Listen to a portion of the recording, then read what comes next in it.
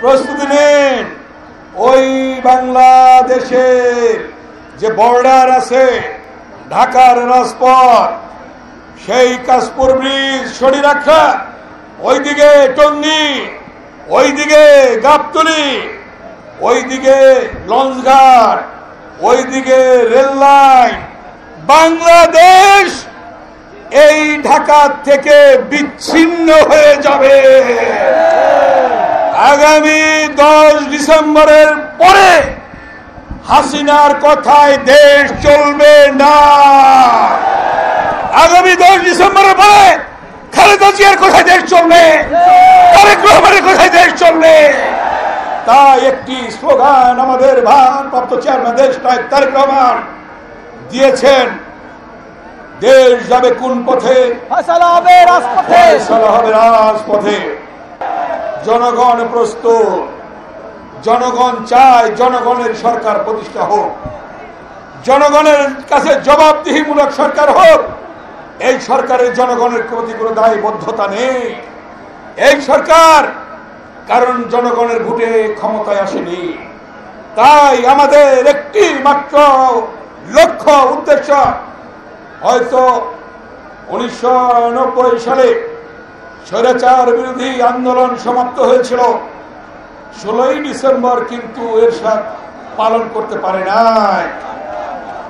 এইবার শেখ হাসিনা জোর করে ক্ষমতায় থেকে আবার একটি স্বপ্নের নির্বাচন করে ক্ষমতা আসতে চায়।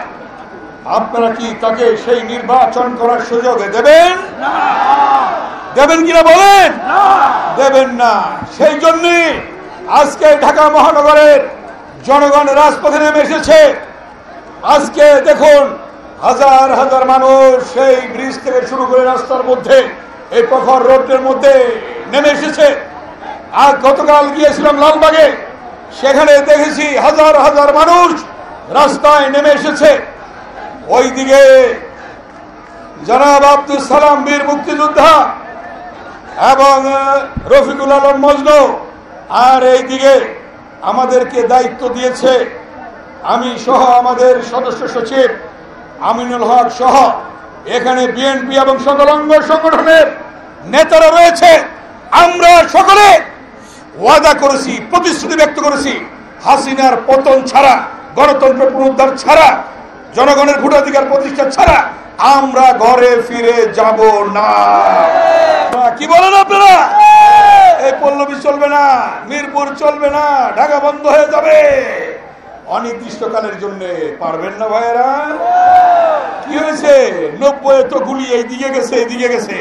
এইবার নয় আমার এবং আমিনুলের এবং আমাদের সালাম ভাইয়ের মজনুর এবং আমাদের টুকু, আমাদের মুন্না, টুকু, মুন্না, তুহিন, মিল্টন, এখানে নাজিমুদ্দিন আলম, সালাম সাহেব ওই যে শিমুল বিশ্বাস নীরব, আমাদের মিরপুরের সন্তান মামুন, আমাদের ইয়াসান আলী, আর কই, পাপের সহ, প্রয়োজন বুঝে আমাদের বুকের মধ্যে গুলি আসবে। তারপরে সরে দাঁড়াবো না। কি বলেন আপনারা? দুই হাত তুলে দেখান, দুই হাত তুলে দেখান। ঠিক আছে কিনা? মঞ্চে যারা আছেন, তারা কি দুই হাত তুলে দেখান তো? মঞ্চে যারা আছেন বীর চট্টগ্রাম কৃতি সন্তান। ওই চট্টগ্রাম খসুবাইয়ের নেতৃত্বে বন্ধ হয়ে যাবে। দুই হাত তুলে স্লোগান ধরেন মুক্তি মুক্তি মুক্তি চাই। মুক্তি মুক্তি মুক্তি চাই। খালেদা জিয়ার মুক্তি চাই। আজকের এই জনসভা থেকে আমার যে ভাইরা শহীদ হয়েছে সেই শহীদের আত্মার প্রতি মাগফিরাত কামনা করে এবং এর প্রতিশোধ নেওয়ার প্রত্যয় ব্যক্ত করে আবার দুই হাত তুলে, আবার দুই হাত তুলে আমরা ওয়াদা করি, ইনশাল্লাহ হাসিনার পতন ছাড়া ঘরে ফিরবো না ফিরবো না ফিরবো না। সকলকে ধন্যবাদ। আল্লাহ হাফেজ।